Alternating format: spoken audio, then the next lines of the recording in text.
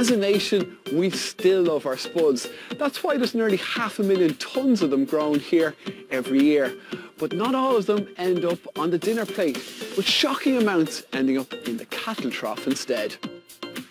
But one farming family from Meath wants to change all that. It's late September and the potato harvest is in full swing. The Meade family business produces nearly 35,000 tonnes of potatoes every year. Robert Devlin is the general manager. He's a practiced hand when it comes to knowing what their customers want on their shelves.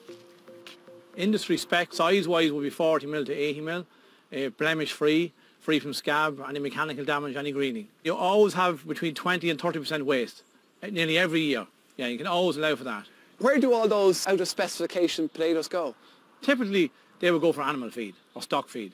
So what's the difference in price then if the spud ends up going to waste versus one making the grade? On, on an average year, packing quality potatoes can make anything between three and 400 euros per tonne. Anything out of spec, very, very low value, 15, 20 euros per tonne. Really? Really, yeah, very, very low. The grading process starts back at their facility in Lobinstown, where the potatoes are washed and then the out of spec ones are removed. It's quite the eye-opener to see how easily a potato can be deemed unworthy. Robert, just a bit of skin. Small bit of skinning, yes. Out. Come out, yeah, out. So, a bit, a bit of skinning just there and there. Has to go out. The amount of waste here, like it's a tiny blemish. You just cut it off and it'll be fine. Has to go. About 70% of the potatoes the Meades harvest will enter the human food chain. But now the remaining 30%, instead of going into low-value animal feed, is being used to create something far more valuable. Last July, the Meades opened up Ireland's very first potato starch processing facility. As well as being used as a food additive, potato starch is widely used in the pharmaceutical industry as a binding agent in tablets. It can also be made into things like cutlery, straws and bags and because it's totally biodegradable, it's seen as a sustainable alternative to plastic. Potato starch is used in so many industries. Us, we're producing the food grade starch that's predominantly used in meat and cheese processing. For what? It's a binding agent. It's what holds that burger and sausage together. It's also used in the vegetarian industry. So you think of your falafel, your meat-free sausage. It's the starch that holds those various ingredients together. It's your, it's your thickener in your soup, your sauces, your stews. Anything between six and eight tons of potatoes are needed to produce a single ton of starch. It takes only an hour and some very high-tech equipment to extract the starch from the potato. It emerges at the end of the process as a white dry powder. Every tonne produced is worth between 700 and 1,000 euros, a long way from the 20 euros per tonne the below spec potatoes would have otherwise achieved. Describe how it goes from this into a powder. First of all, first thing we do is we load up our hopper here. We put 12 tonnes of potatoes in here. And if you want to do your bit of spudmatics, a typical potato weighs around 250 grams. So there's nearly 50,000 potatoes in that hopper there. Okay. Then they go on through a washer and a destoner, up onto our inspection table, where we go on in and it's elevated across it into our rasper. So our rasper is like a giant food blender. So technically we're nearly making like a, a potato smoothie. Here you have a gigantic motor running very, very fast. And here we have a, a row here with 102 double-edged blades here, which chops up the potatoes. They are sharp. Very, very sharp.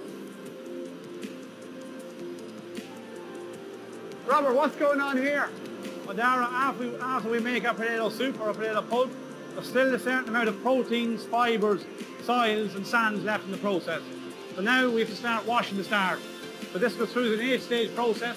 This is called a hydrocyclone. Once the potato starch leaves the hydrocyclone, the drying process begins. This is called a rotary vacuum filter. So at this stage now, the starch here is still at 30% moisture content. So it goes off here now, it's the first and last time you're going to see it. After here now it goes off to be dried and bagged off in the bagging process. Hydrocyclones, rotary vacuum filters, all this technical wizardry seems a long way removed from the humble spud. This is a multi-million euro investment by the company, but it seems that even in the most traditional of enterprises, diversification is essential to survival obviously it will create some more jobs directly and indirectly, but really it's all about kind of protecting the existing jobs for the future. It's about keeping that innovation and sustainability within the company because you kind of always need to reinvest. We're in the potato business 40 years. We need to be at the cutting edge of it. We need to be a couple of steps ahead. With so many uses for potato starch, the company is confident that there's a huge market for its product. In the next year, they themselves hope to have a new biodegradable bag for their potatoes, made entirely from their own potato starch. So you're telling me that the packaging that you're going to wrap your spuds in could be made out of the spuds, the waste Absolutely. spuds? From our class 2 potatoes that don't make it to retail spec. So there's so much potential and we're only learning the potential of the spud. We are now offering our starch to food manufacturers in Ireland. We also hope to develop a retail pack it's used for regulating the blood sugar.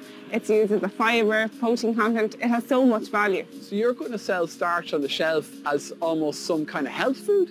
Yeah, so it's actually available in health food stores at the moment. But again, it's imported from further afield, Denmark, Poland, Holland. So we hope to replace that with Irish starch, but also offer that retail level, your supermarkets. The potato has been at the heart of this business for over four decades and with this new venture it looks like that it's set to remain the case for many years to come.